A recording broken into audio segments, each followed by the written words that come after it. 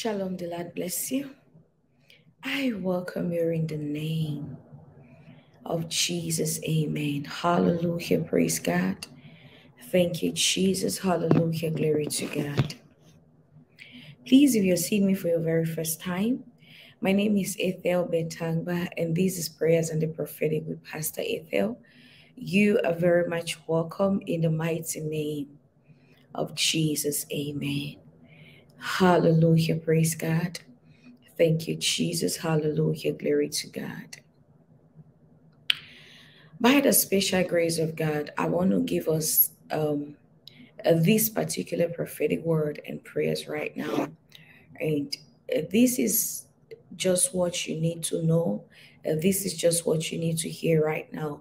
This is what God wants you to know, listen to, in here right now. In the name of Jesus, amen. Can we pray, please? Father, in the name of Jesus, Lord, we love you. Thank you, Lord. We give you all the praise. We give you all the adoration, Father, in the mighty name of Jesus. We say there is none like you. You are the ancient of days. You are the I am that I am. We have come to glorify you this morning and to have an encounter with you in the mighty name of Jesus. Amen. Whatever the time of my brother, my sister is, morning, afternoon, evening, I believe they will be receiving an encounter also in Jesus' mighty name. Amen. Hallelujah. Praise the Lord. Thank you, Jesus. Hallelujah. Glory to God. Now, I want you to understand um, something.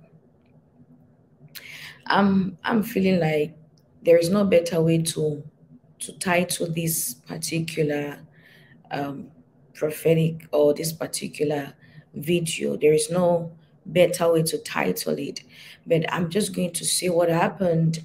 And then at the end, I'm just going to pray because I'm like, okay, what can we title and all that? There is a kind of way God starts blessing you, and then you don't even know what to say anymore about it. You are you you feel like maybe if you say something, it's not going to be enough to to as compared to what God has done for you. Sometimes the blessings of God in our lives are unspeakable. Sometimes what the Lord starts doing in our lives, what the Lord begins to do in our lives, you notice you're asking yourself, like, seriously so the lord knew me the lord loved me. You know sometimes we get to ask ourselves so many questions because we did not know that we could possess that. The bible says in obadiah chapter 1 and verse 17 the bible says but upon mount zion shall be deliverance shall be holiness and the house of jacob shall possess their possession you possess your possession upon deliverance. uh, this is a great revelation. You possess your possession upon deliverance because there is something that is standing in between the gap of your miracle. And what is standing in between the gap of your miracle is you and your deliverance. So deliverance is standing in between the gap to, for the miracle to reach you.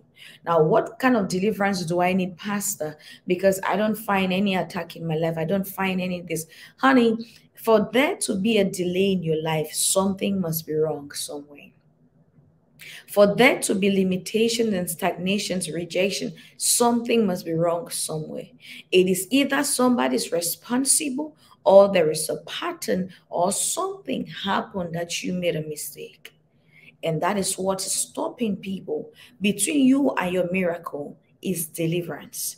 Once you cross deliverance, you get the miracle. So the miracle is opposite, waiting for you to cross the line of deliverance and you get it. Upon Mount Zion, there shall be deliverance. There shall be holiness. And the house of Jacob, Mount Zion is God's presence. It is God's presence. He can be anywhere. I'm talking to you and you're feeling the power. That is the presence of God. That is Mount Zion. Oh, this is going very quick. Now, I want to read out this particular testimony that this lady sent to me. Her name is Gladys. Pastor Ethel, God Almighty, continue blessing you always. From the time you prayed for me, people I had not heard from started sending me messages. I used to wonder why men and women never said hello. Oh, wow. But after the prayers, things changed a lot. Both men and women all greet me with smiles. Can you see that? Look at that. When you prayed for me, you said there was an altar in, in the family that did not that did not want the marriages in the family to stand. Altars against marriage. This is very true. People struggle to be happy in their marriages. My elder brother and his wife, many years with five grandchildren, decided to get a divorce recently. That is an altar. I could only put it put them in prayers. A very close cousin confirmed that there was something very, very bad in the family that did not support marriages. And then she spoke another, Pastor, you recently gave a prophecy about someone that has signed a contract, but it was canceled for no reason. You said, watch out for something that would change. This happened. We were told three weeks ago that the contract had been terminated and the last date um, 18th June. No reason given. At the same time, she spoke about and spoke about. Pastor, you have been a great. She spoke about that. Now, what did God said about that? The Lord said it was said it was going to change. They should watch out. So she was confirming the prophecy that God has used me to give in her life and how her life has changed ever since she started praying with us. We do prayers every day by the special grace of God, every day. And if you're opportune, God bless you. Thank you so much for coming. Hallelujah. And please don't forget to subscribe to this channel just so you receive your notifications when necessary. Pastor, you have been a great you have been a great blessing to me. These past years have been so, so hard for me, but the morning prayers all made a big difference. My hope was revived again. Hallelujah. Thank you very, very much for all you do, encouraging me, especially through the prayers. I was so used to believing in to believing a lie that the problem was me because everyone blamed me for not having good things come my way until you prophesied to me. Then I started seeing a change after you prayed. Look at that.